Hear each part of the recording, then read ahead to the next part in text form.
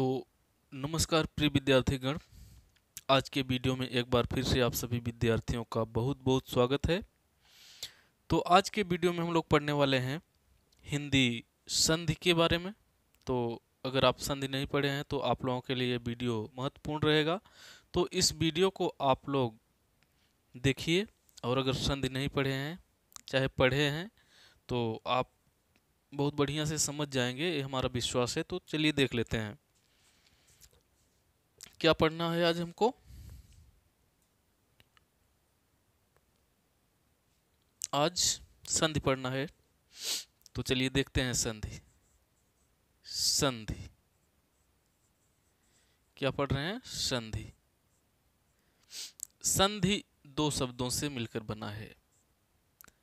सम plus धी से मिलकर बना है संधि। ठीक है? किससे बना है? सम प्लस धी से संधि बना है। ठीक है? सम का मतलब हो जाएगा पूर्णतया पूर्णतया। धी का मतलब मिलना। क्या हुआ? मिलना। ठीक है? सम का मतलब पूर्णतया, धी का मतलब मिलना या समीप आना। और सम प्लस धी से बन गया संधि और संधि का मतलब क्या हो जाएगा? संधि का शाब्दिक अर्थ हो जाएगा, संधि का अर्थ हो जाएगा मेल मेल या मिलना। ठीक है? मेल या मिलना, संधि का मतलब मेल या मिलना। तो संधि में जब दो वर्ण मिलते हैं, वर्ण तो जैसे दो शब्द जब नज़दीक आते हैं तो उनमें वर्णों का मेल होता है, शब्दों का मेल नहीं होता है। जब शब्द जो, दो जो शब्द होते हैं, नज़दीक लाए जाते हैं तो मिलते हैं, मिलने मिलने पर उसमें वर्ण जो रहते हैं पास पास के जो वर्ण होते हैं, समीप जो सबसे वर्ण होते हैं, वही मिल जाते हैं, उसी का मेल होता है। तो जो विकार उत्पन्न होता है, जो परिवर्तन होता है, जो चेंजिंग आती है तो उसी को हम कहते हैं संधि, ठीक है? तो अगर परिभाषा लिखना चाहें तो परिभाषा लिख सकते हैं। दो समीपवर्ती वर्णों के मेल से उत्पन्न विकार को संधि कहते हैं। दो समीपवर्ती समीपवर्ती वर्णों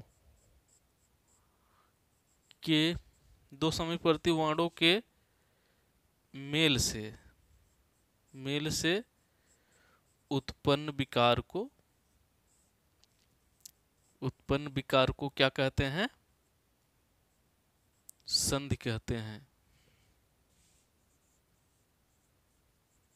संधि कहते हैं। संधि किसे कहते हैं?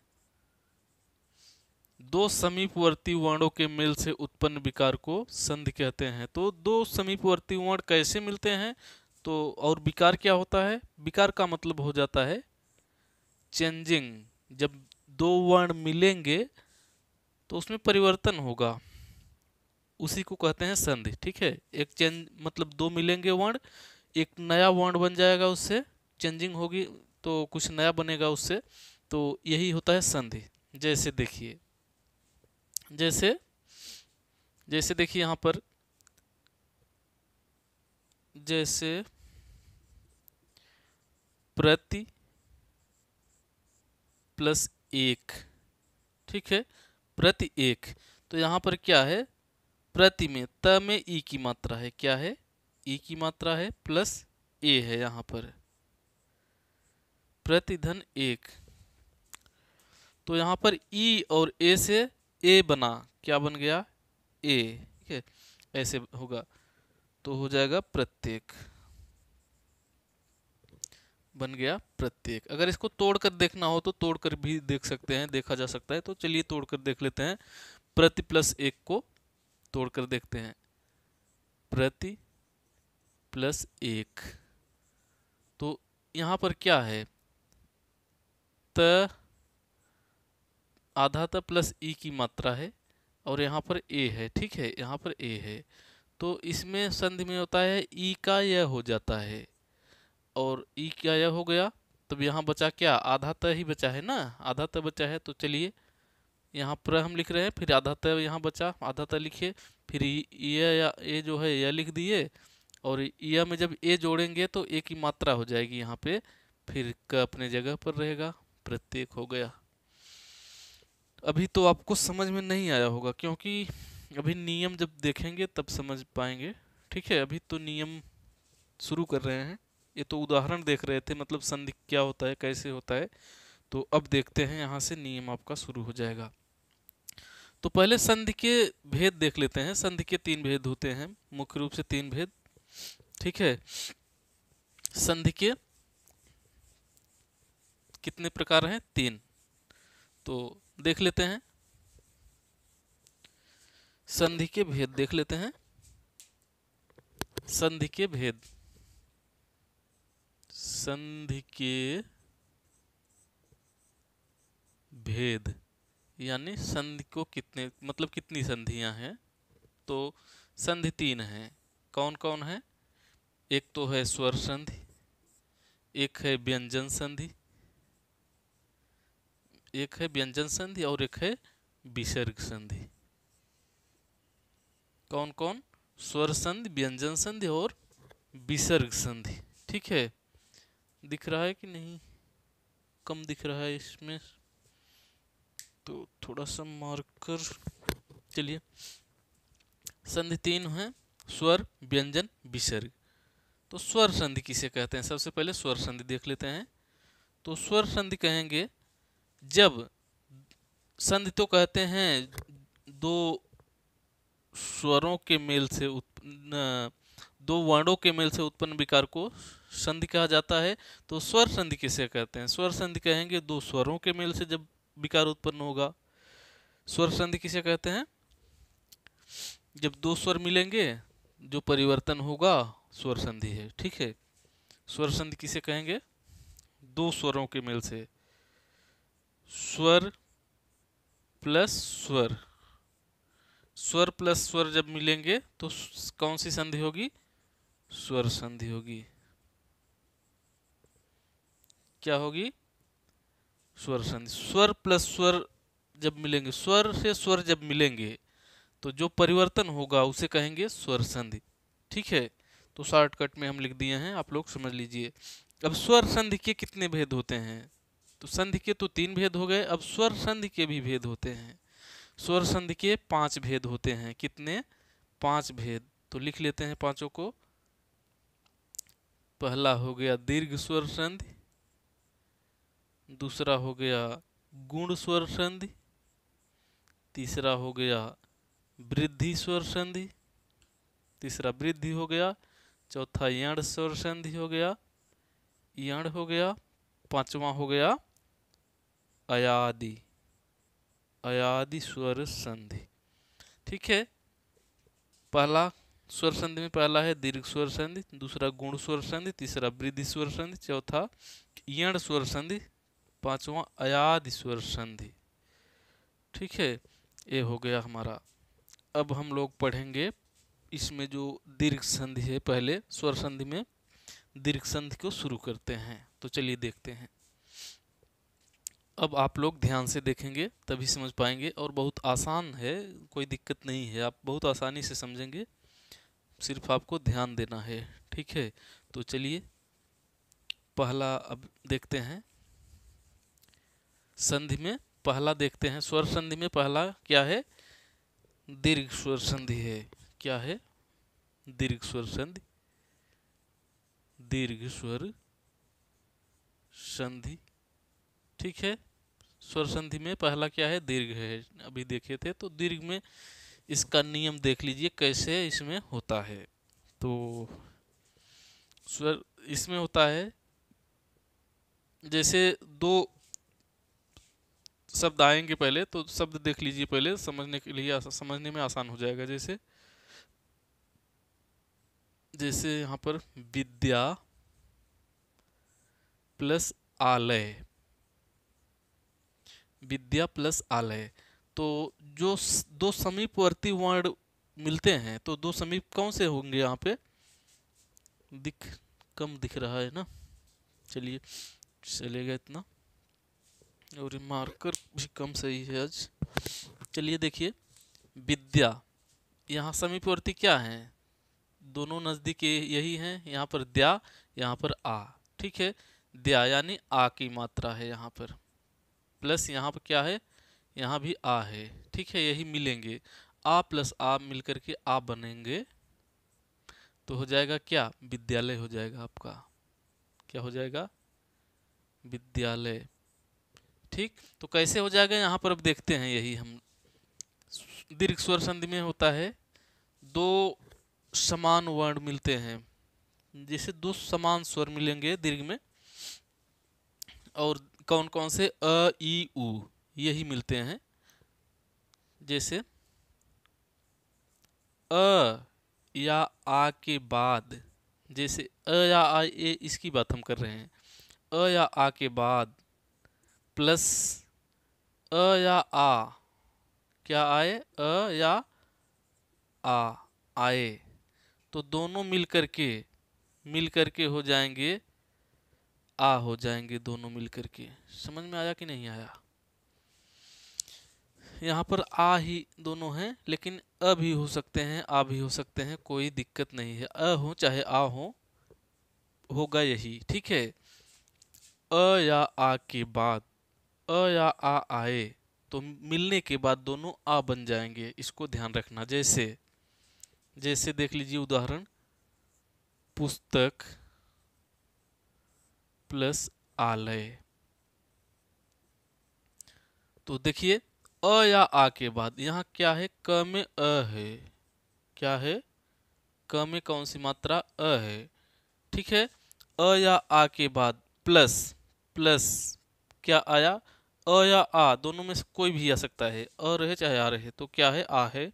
चलिए, आ ही है।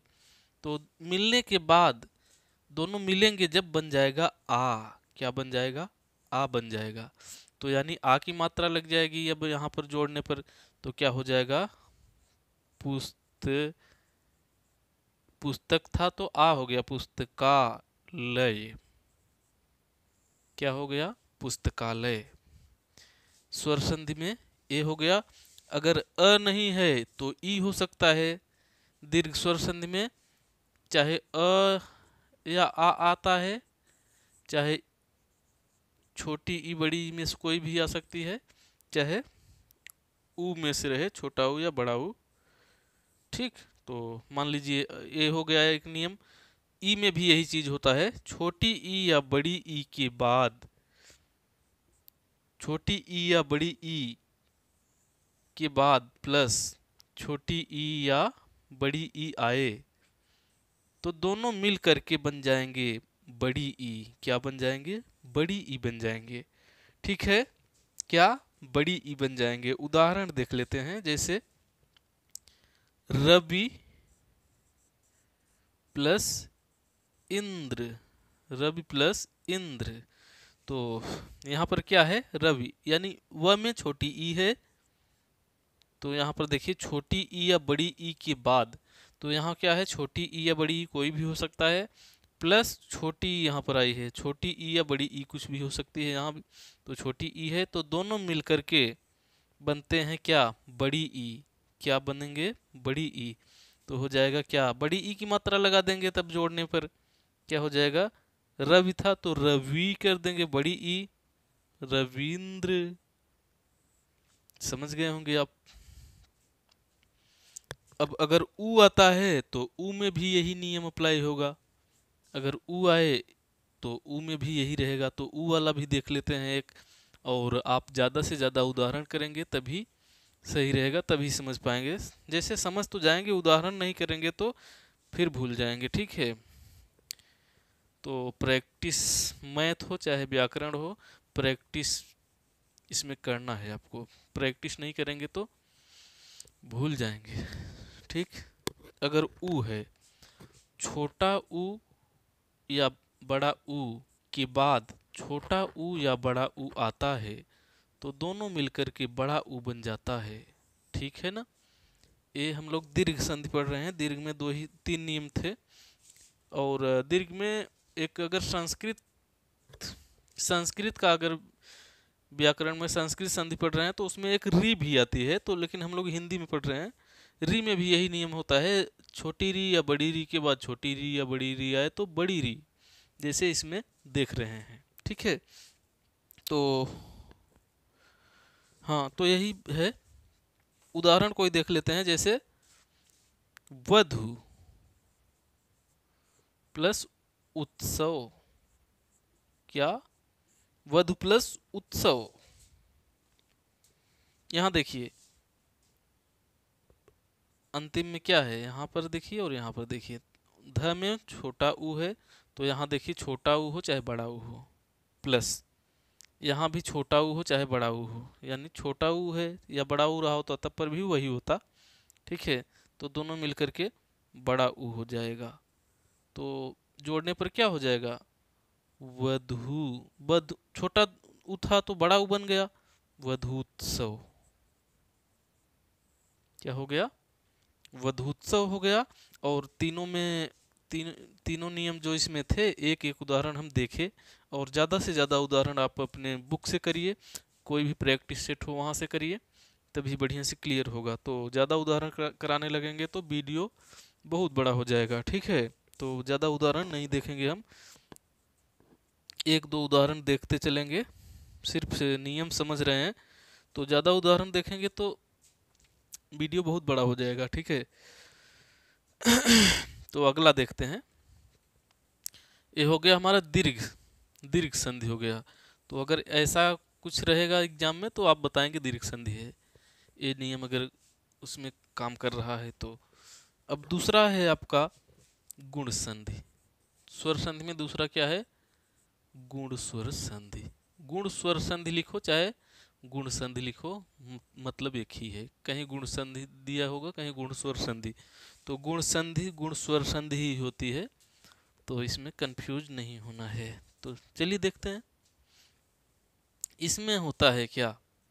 इसमें होता है, नियम है, अ या आ के बाद। अ या आ के बाद क्या आ सकता है? ई अगर आए तो ई का हो जाएगा। अ या आ के बाद अगर ई आए तो हो जाएगा ए। क्या हो जाएगा? ए हो जाएगा, यानी ए वाली मात्रा। ठीक है? ए वाली मात्रा हो जाएगी। अगर अ या आ के बाद, अ हो चाहे आ हो इसके बाद अगर आता है, उ आए, अगर कोई भी हो सकता है, छोटा या बड़ा तो ओ हो जाएगा आपका यहाँ पर। यानी मात्रा कौन सी? ओ की मात्रा यही होती है ना? यही हो जाएगा। ये हो जाएगा। उदाहरण द्वारा समझते हैं। तो एक एक और इसमें नियम है, अ या आ के बाद, अ या आ के बाद अगर री आए री कोई भी हो सकती है, छोटी भी हो सकती है, बड़ी भी हो सकती है तो अ या आ के बाद अगर री आता है तो यहाँ पर हो जाएगा, अर बन जाएगा आपका, ठीक है? अर, चलिए, अब उदाहरण तीनों का हम लोग देख लेते हैं बारी बारी से। जैसे देखिए, इसका देखते हैं पहले का, देव प्लस इंद्र। देव प्लस इंद्र। देखिए, यहाँ क्या है? वह में अ है कि नहीं है? अ या आ कोई भी आ सकता है, कुछ भी आ सकता है। यहाँ देख लीजिए ऊपर। अ या आ हो सकता है, कुछ भी हो सकता है। अ रहे चाहे आ रहे मतलब एक ही है। तो क्या हुआ यहाँ पर? अ है। व में अ है। ठीक है? प्लस ई आए। क्या आए? ई आया है यहाँ पर। तो दोनों मिलकर क्या हो जाएगा? आपका ए हो जाएगा। क्या हो जाएगा? ए हो जाएगा। क्या हो जाएगा? ए यानी कौन सी मात्रा? ए वाली मात्रा। ठीक है? तो चलिए ए वाली मात्रा लगा देते हैं। दे व था ना तो ए ई वाली मात्रा लगाएँगे। ए, वा, ए वाली मात्रा यहाँ पर देवे हो गया। देवेंद्र। ठीक है? देवेंद्र। यहाँ पर आप चाहे ऊपर बिंदी लगाएँ चाहे आधा न लिखें दोनों का मतलब एक होता है। इस इसमें भी कंफ्यूज नहीं होना है। तो आप चाहे यहाँ अनुसार ए, अनुसार लगाएँ चाहे आधा न लगाएँ दोनों एक ही है। ठीक है एक दोनों में से एक भी गलत नहीं है दोनों सही है। अब दूसरा उदाहरण देखते हैं। अगर अ या आ के बाद उ आता है तब क्या हो जाएगा? जैसे दूसरा उदाहरण इसका देखते हैं यहाँ पर, जैसे पर प्लस उपकार। क्या? पर प्लस उपकार। तो अ या आ के बाद देखिए पर र र यानी अ। अ या आ के बाद क्या आया है? उ आया है। क्या आ गया? उ आ गया। चाहे छोटा हो, चाहे बड़ा उससे मतलब नहीं है। ठीक है? तो मिलकर दोनों हो जाएँगे ओ। क्या हो जाएगा? ओ। क्या हो जाएगा? ओ हो जाएगा। यानी कौन सी मात्रा? ओ की मात्रा यही यही है। तो चलिए यही मात्रा हम लगा देते हैं। पर तो ओ की मात्रा लगा देंगे यहाँ पर। परो हो गया। पकार, परोपकार हो गया। ये हो गया हमारा। अगला देख लेते हैं उदाहरण एक इसका और है। इसी तरह से सभी आप हल करेंगे इसको। तो अगला उदाहरण देख लेते हैं इसका। जैसे महा प्लस ऋषि। महा प्लस ऋषि तो यहाँ क्या है? अ या आ के बाद। हा, आ आ गया है इस बार तो कोई मतलब नहीं, उससे चाहे जो भी है चलेगा। अ या आ के बाद री आया है, क्या आ गया? री आ गया। तो क्या हो जाएगा? अर हो जाएगा। अर हो जाएगा। तो चलिए जोड़ देते हैं महा प्लस ऋषि। महर्षि अर आया कि नहीं? यहाँ बोलने उच्चारण में पता चल रहा है। महर, अर आ रहा है। महर्षि महर्षि चलिए, अगर ये अर आपको नहीं पता चल रहा है तो इसको हम दिखा दे रहे हैं कैसे होगा। महर्षि, चलो। म महर्षि। यही चीज़ ये भी है। क्योंकि आधार लिखने का तरीका सिर्फ़ यही है। इसलिए आधार यहाँ पर लिखा लिखा जाता है उड़ंतुआ र कहते हैं या रेप वाला र कहते हैं। तो इस, ऐसे लिखा जाता है आधार। आधार दोनों एक ही है, जो चीज़ ए है वही ए भी है, लेकिन र लिखने का तरीका ए होता है इस, ऐसे। इसलिए ऐसे लिखा गया है, ठीक है, इसमें कंफ्यूज नहीं होना है, दोनों एक ही है। तो अर कहाँ आ रहा है, देखिए महर ह को जब तोड़ेंगे ह में से अ निकाल देंगे तो अ आ जाएगा यहाँ पर, प्लस बन गया यहाँ पे, ठीक है? अर है इसमें महर्षि, ठीक है? तो आप इसका भी प्रैक्टिस करेंगे ज़्यादा से ज़्यादा। ज़्यादा से ज़्यादा प्रैक्टिस करना है आपको, ठीक है? तो चलिए और देख लेते हैं इसके आगे।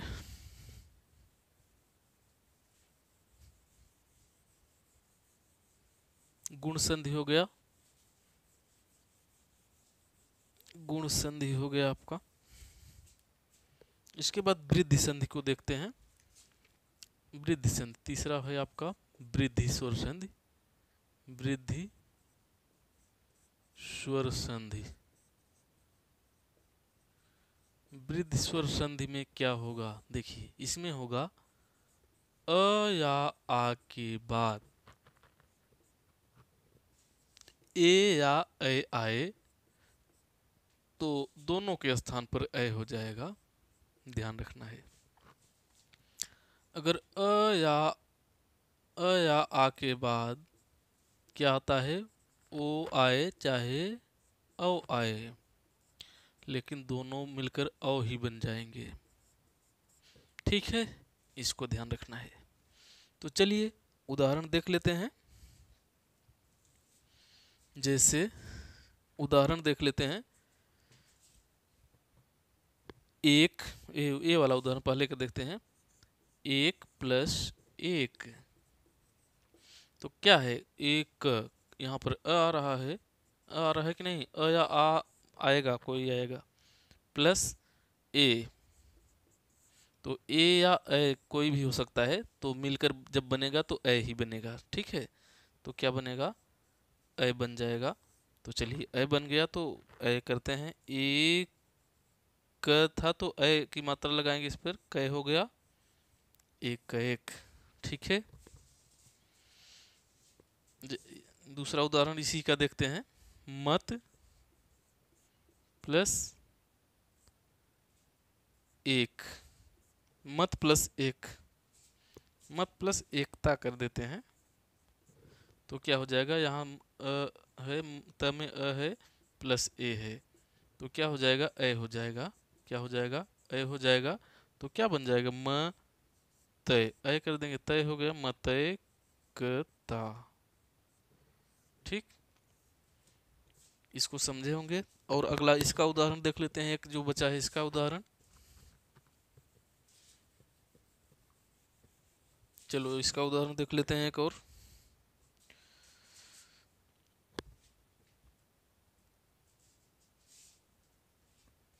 परम प्लस ओज। तो यहाँ क्या है? अ है प्लस यहाँ ओ है तो ओ आए चाहे अ आए, दोनों मिलकर अ ही बनेंगे। ध्यान रखना है आपको। तो क्या हो जाएगा? परमौज। परमौज हो गया अ हो गया। ठीक? तो ये हो गया आपका इसके आगे चलते हैं। वृद्धि संधि हो गई आपकी। उदाहरण आप करेंगे ज़्यादा से ज़्यादा। आगे चलते हैं अभी इस, इसके आगे। बस दो ही उदाहरण हम देख रहे हैं। इससे ज़्यादा उदाहरण आप अपने बुक से करना है आपको। ठीक है? चलो इसको मिटाते हैं। वृद्धि संधि हो गई। अब चौथा देखते हैं, यण संधि। चौथा देखते हैं, यण संधि। यानी यण स्वर संधि लिख सकते हैं आप। यण स्वर संधि। तो इसमें क्या होता है? देखिए। इसमें होता है, ई।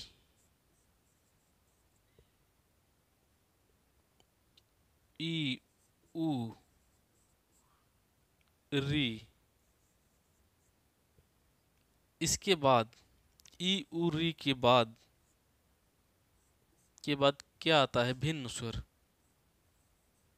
भिन्न स्वर। भिन्न स्वर यानी अलग स्वर। क्या? अलग स्वर लिख सकते हैं। अलग स्वर। अलग स्वर का मतलब क्या हुआ? कहने का मतलब ई के बाद ई नहीं होगा। अलग स्वर मानेंगे। ऊ के बाद ऊ नहीं रहेगा। अलग स्वर कहेंगे उसको।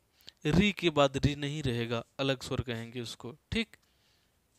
तो थोड़ा सा दिख नहीं रहा है यहाँ पे। रुकिए, थोड़ा सा देख लेते हैं।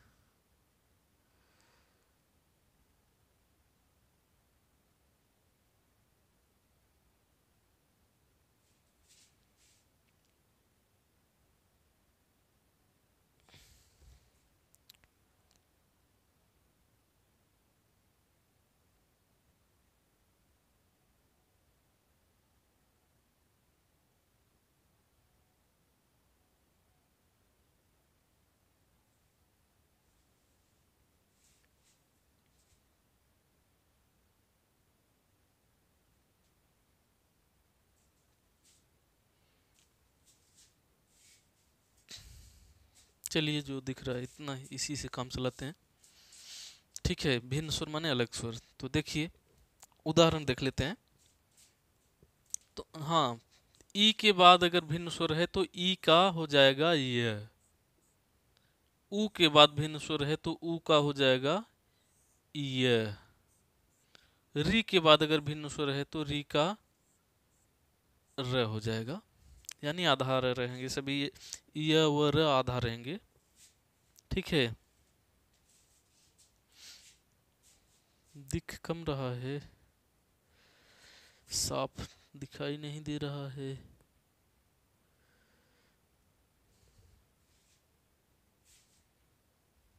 चलिए, जो दिख रहा है इसी से चलाते हैं काम।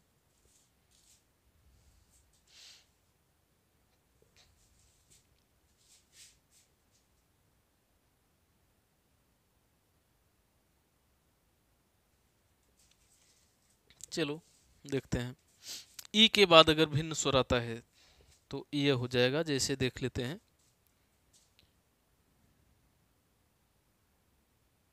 जैसे देखिए। अति। अति प्लस अंत। तो देखिए, यहाँ पर क्या है? त में ई है। ई प्लस अंत में, यानी अ यहाँ पर आ गया, ई के बाद ई नहीं आया, अलग स्वर आ गया तो ई का हो जाएगा ये। ई का हो जाएगा, क्या हो जाएगा? ई का, ये हो जाएगा। ठीक है तो चलिए देखते हैं कैसे यह हो गया। तो जब यह हो जाएगा तो बन जाएगा अत्यंत। अत्यंत हो जाएगा, कैसे हो जाएगा, दिखा रहे हैं आपको हम, तोड़ करके। क्या है यहाँ पर? अति प्लस अंत है ना? तो इसको हम तोड़ करके आपको दिखाएँगे तब समझेंगे आप। चलिए यहाँ पर अ है यहाँ पर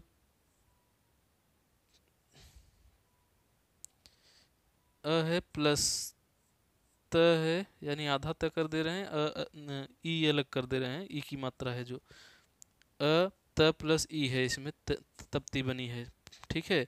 यहाँ पर फिर अ है आपका, क्या है? अ है, फिर आधा न, यानी अनुसार करके त। त, चलो इसको भी तोड़ देते हैं, तभी समझेंगे। प्लस त प्लस अ है यहाँ पर भी। ठीक है तो क्या हो जाता है? ई का यह हो जाएगा तो ई के जगह पर यह रख दीजिए सिर्फ़। ई के जगह पर यह रख करके, आधा या रख, आधा या रख करके फिर वही जोड़ दीजिए। क्या हो गया? अ प्लस त आधा त प्लस आधा य प्लस अ प्लस आधा त प्लस अ। इसको आप जोड़ दीजिए। जो नीचे लिखे हैं, इसको आप जोड़ देंगे तो अत्यंत बन जाएगा। जोड़कर आप देख लीजिए। ठीक है, चलिए हम जोड़कर देख लेते हैं। अ यहाँ पर है। अ यहाँ पर आधा त है। फिर यह आधा यह है अभी तक तो लेकिन अ जब ला, लाएँगे इसमें तो पूरा यह बन जाएगा। ठीक है? यहाँ पर त है आधा त है और अ इसमें जोड़ेंगे तो पूरा त बन जाएगा। अत्यंत बन गया कि नहीं बन गया? तो ए हो गया आपका। ए हो गया आपका ई अगर आया है तो। अगर ऊ आए तब पर भी यही नियम चलेगा। ऊ के जगह पर वह रख देंगे तब। ई का यह, ऊ का वह होगा। यहाँ पर हम ध्यान नहीं दिए, वह, ऊ का वह होगा वह होगा। ठीक है? ऊ के जगह पर वह रखना है आपको। तो उदाहरण इसी तरह से उसका भी रहेगा। यहाँ ई के जगह पर हम यह रखे हैं तो आप अगर ऊ आए यहाँ पर तो ऊ के जगह पर वह रख देंगे आप। फिर वैसे जोड़ देंगे, आ जाएगा। अगर री आया है यहाँ पर तो री के जगह पर र रख देंगे आधार है फिर वैसे ही जोड़ देंगे, हो जाएगा ये भी।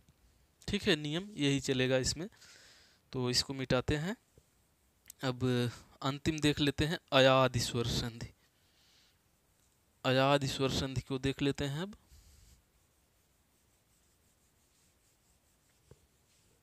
थोड़ा सा शॉर्टकट चलना पड़ रहा है क्योंकि थोड़ा साफ़ नहीं बन रहा है। वीडियो में थोड़ा साफ़ नहीं आ पा रहा है, इसी से थोड़ा जल्दी से ख़त्म करना पड़ रहा है हमको। ठीक है। अयादि स्वर संधि देखते हैं। पांचवा है स्वर संधि में अयादि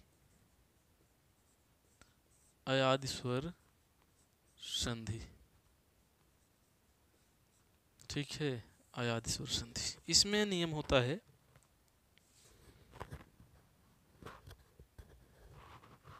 इसमें ए ए ओ ओ इसके बाद क्या आता है? प्लस क्या आ जाता है? इनके बाद आ जाता है भिन्न स्वर। भिन्न स्वर यानी अलग स्वर। भिन्न स्वर यानी अलग स्वर। तो ए का अय अय अय का आय।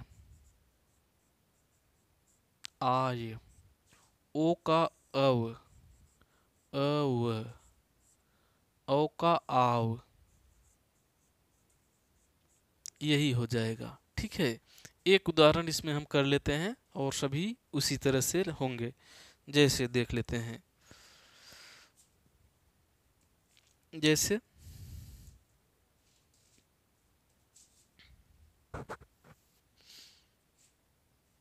जैसे देखिए, नयन देख लेते हैं एक। हम उदाहरण कहाँ पर यहाँ दिख रहा है? चलो दिख रहा है। नयन, चलो देखो। ने प्लस अन। तो ने यानी ए है। ए के बाद क्या आ गया? अ, आ गया यानी भिन्न स्वर आ गया। क्या आ गया? भिन्न स्वर। तो ए के बाद भिन्न स्वर तो ए का अय हो जाएगा। जब ए का अय होता है तो ने का नय हो जाएगा। नय प्लस अन जोड़ देंगे तो क्या हो जाएगा? इसमें अन जोड़ेंगे, क्या हो जाएगा? न, य में अ कर दिए, पूरा यह हो गया, न, नयन हो गया। क्या हो गया? नयन हो गया। ठीक है? और उदाहरण इसका एक आक देख लेते हैं। जैसे, गए प्लस अक। दिख रहा है ना? चलो, दिख रहा है। जब अय का आय होता है तो गय का गाय नहीं होगा होगा। अय का आय तो गय का गाय गाय। प्लस अक यहाँ पर है। चलो, गाय। आधा यह अभी हल लगा है चिन्ह नीचे। अ मिलेगा तो पूरा यह हो जाएगा, और क, गायक। ठीक है? अगर इसको तोड़कर भी देखना चाहें, तब तोड़कर भी देख सकते हैं। हम तोड़कर आपको दिखा देते हैं। चलो गए है। तोड़ते हैं। ग प्लस ए। प्लस अ। प्लस क। प्लस अ है ना? यहाँ पे क में अभी है। तो चलो अय का क्या होता है? अय का आय होता है। तो आय हम यहाँ पर रख देते हैं। आय। चलो, आय रख करके जोड़ दो, उत्तर आ जाएगा। चलो, यहाँ पर है, ग है, यानी आधा ग है, प्लस आ है, यानी आय। आय है यहाँ पर, प्लस अ है यहाँ पर, प्लस क है यहाँ पर, प्लस अ है यहाँ पर। चलो, इसको जोड़ देते हैं। आधा ग है यहाँ पर, आ। ग के नीचे हल चिन्ह है तो आ जब जोड़ेंगे तो हो जाएगा गा। गा हो गया, प्लस यह है यह में हल चिन्ह है, यानी आधा है अभी तो अ जब इसमें जुड़ेगा तो पूरा यह हो गया, और क में यह जुड़ेगा तो क भी पूरा हो गया, बन गया गायक। इसी तरह से सभी नियम इसका रहेगा, ए, ऐ, ओ का, अगर ए आता है पहले तो अय हो जाएगा अय आता है तो आय हो जाएगा, जैसे यहाँ गायक हुआ है, ओ है तो अव हो जाएगा, अव रख देंगे इसकी जगह पर, जहाँ पर हम आय रखें, वहाँ पर अव रखेंगे, अगर अव आ रहा है तो आव रखेंगे, जहाँ पर आय रखा गया, वहाँ पर आव रखेंगे। ठीक है तो ये वीडियो हुआ पूरा स्वर संधि का। अगर ये वीडियो आप लोगों को अच्छा लगा हो तो इस चैनल को सब्सक्राइब कर सकते हैं, इस तरह के और भी वीडियो देखने के लिए। हम मिलते हैं आप सभी से फिर किसी नेक्स्ट वीडियो में। तब तक के लिए नमस्कार।